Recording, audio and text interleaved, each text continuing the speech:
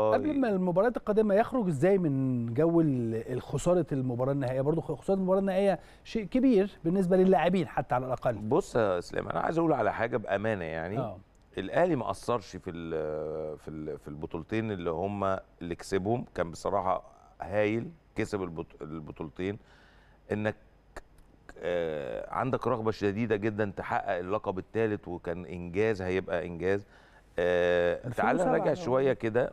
إحنا ما كناش احسن حاجة من اول البطولة. أوكي. يعني لو رجعنا بطولة افريقيا وإحنا ماشيين من الاوائل من الأول يعني ما كانش احسن حاجة الاداء ما كانش احسن حاجة صعدنا تاني. سان داونز كسبنا رايح جاي وبعدين بعد كده سان داونز خرج. فاحنا آه، غيرنا من الشكل بتاعنا قدرنا نوصل نهائي بالشكل ده كله ووصلنا نهائي. آه، يعني أنا مش عايز آه، عايز إيه أحمل ال- ال- الفريق والجهاز الفني أكتر مما يستحقه. أنت مش كل مباراة نهائية هتوصل هتكسبها. طبعا. خلينا خلينا نشوف الفرق الكبيرة ونشوف ال- ال- بس هو زعل الناس إن أنت ما كنتش يعني يعني الأداء طبعا ما كانش كويس وده آه، ليه ظروفه. وظروف ما هياش طبيعية إن أنت تلاعب آه، فريق برضو بتلعب مع فريق بشعبية الوداد جوه المغرب الموضوع مش سهل. مش سهل طبعا. الموضوع مش سهل. آه. وموضوع بصراحة تعديت بحاجة زي دي يا كابتن محمد؟ آه، كمدير فني طبعا. آه وأنا مدير فني آه. قابلت آه، الترجي كان هناك في في كسبنا ثلاثة واتغلبنا آه، ثلاثة هناك. آه، آه بس أنا 3-1 ساعتها كنت 3-0 مدير آه. كورة كنت مدرب عام ومدير كورة يعني أنا انت شفت الأجواء. آه مش سهلة.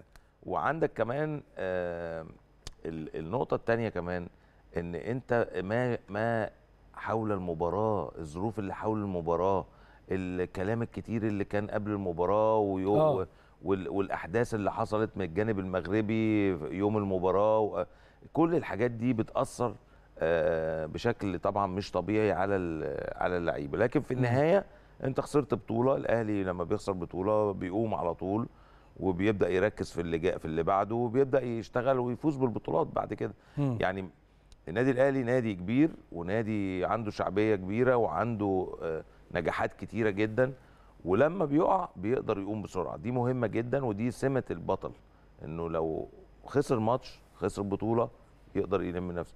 فخلاص إحنا خسرنا الماتش لكن عندنا بطولة دوري خسرناها السنة اللي فاتت فإحنا مطالب إن إحنا البطولة دي ترجع تاني لدولاب النادي الأهلي. وبالتالي محتاجة تضحيات ومحتاجة تركيز ومحتاجة خلاص. أنا أعتقد اللعيبة خرجت خلاص من الأجواء بتاعه آه، خسارة النهائي وفي نفس الوقت كمان ده دور الجهاز بقى. يعني دور الجهاز آه، سامي قمصان وسيد عبد الحفيظ ومعاهم طبعا وأكيد طبعا الجهاز بقى ال- اللي هو موسيماني ومعاه الأجانب. اجانب مهم جدا إن هم يشتغلوا على الحتة دي ويبدأوا يضخوا آه، دم جديد ويضخوا آه، لعيبة عندها رغبة عندها عشان يعمل منافسة تاني عشان يبدأ يشتغل بشكل كويس يعني.